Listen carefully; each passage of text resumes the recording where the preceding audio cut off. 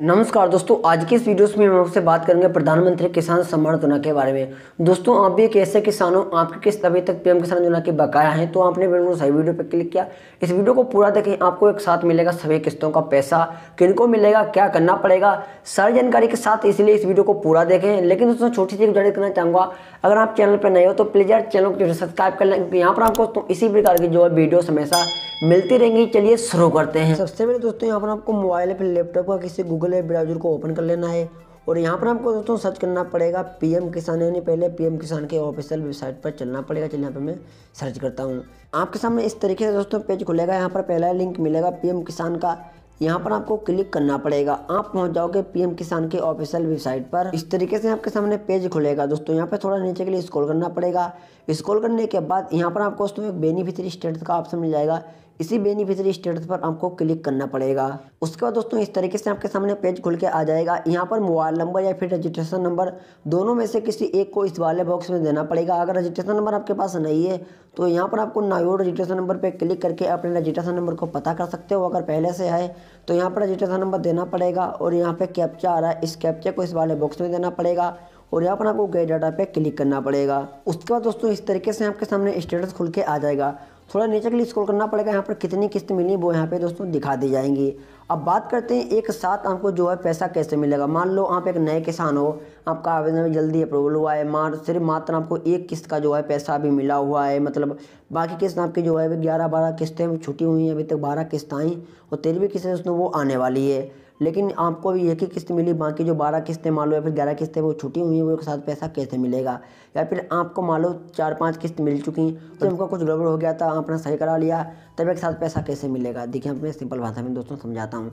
PM किसान योजना में दोस्तों बड़ा बदलाव ये है कि अगर आपकी बकाया किस्त हैं, जैसे मान लो आपको पाँच किस्त मिली और सात आठ किस्त आपकी बकाया हैं तो एक साथ पैसा मिलेगा। कैसे मिलेगा?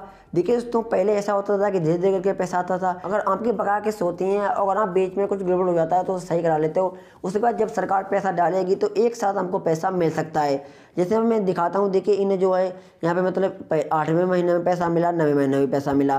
कभी कभी क्या होता है कि मतलब एक महीने में ही पाँच छः छः किस्तों का पैसा आ जाता है। मेरे पास के किसान हैं उनका दोस्तों लगभग छः से सात किस्तों का पैसा एक साथ आया, क्योंकि उनका गड़बड़ यहाँ पे था दोस्तों, उनका एफटीओ पेंडिंग रीजन कुछ था मतलब पैसा खाते में नहीं जा पाता था।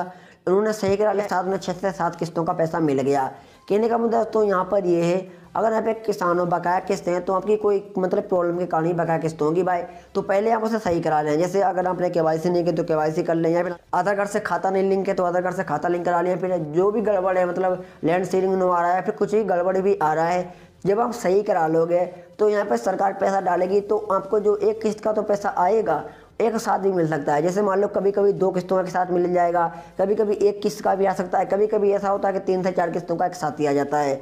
लेकिन दोस्तों, कुछ गड़बड़ होगा तभी पैसा आपको नहीं मिलता है। काफ़ी लोगों को किसानों को पता ही होगा।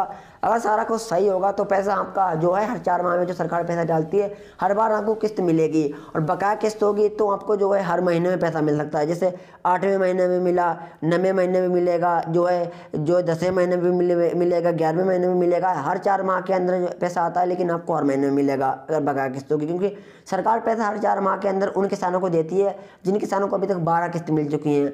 और अगर बकाया किस्तें हैं तो आपकी तो आपको कभी भी पैसा मिल सकता है, एक महीने में मिल सकता है, पंद्रह दिन में मिल सकता है, दो महीने में मिल सकता है, समझ सकते हो आप, इस तरीके से पैसा बकाया किसानों को आता है। तो मैं अपडेट दोस्तों इसलिए बता रहा हूँ आपको, अगर कुछ गड़बड़ है तो कुछ गड़बड़ है तो आप सही करा लीजिए। काफ़ी किसान सोच रहे हैं कि मेरी आठ किस्तें हैं, वो छुट्टी गई वो नहीं मिलेंगी तो ऐसा बिल्कुल नहीं है। जब आप सही करा लोगे तो धीरे धीरे करके सारा पैसा आपको मिल जाएगा, दो किस्त का भी मिल सकता है, तीन किस्त का भी मिल सकता है और पाँच पाँच किस्त का भी मिल सकता है, लेकिन आप सही करा लोगे तभी पैसा आएगा। तो यही दोस्तों अपडेट देना था तो आपको समझ में आ गया होगा। देखिए इन किसान की जो है अभी आठ किस्त मिल चुकी हैं। जो बाकी नवी दसवीं जो है किस्त छुट्टी है, ग्यारहवीं, बारहवीं किस्त छुट्टी है। इनको एक साथ दोस्तों पैसा मिल सकता है क्योंकि इन्होंने अभी तक जो है के नहीं करवाई।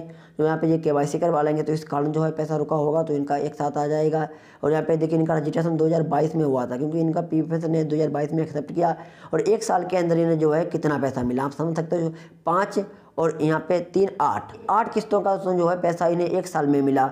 वैसे जो है पैसा मतलब दोस्तों एक साल में कितनी बार आता है? छः हज़ार रुपये मिलता है और इन्हें आठ किस्तों को मिला, सोलह हज़ार रुपये मिला। तो मैंने विद प्रूफ के साथ आपको दोस्तों चेक करके बता दिया है। सही होता है तो पैसा अगर आपके बका किस्त होती है तो धीरे धीरे करके सारा पैसा आपको मिल जाता है दोस्तों।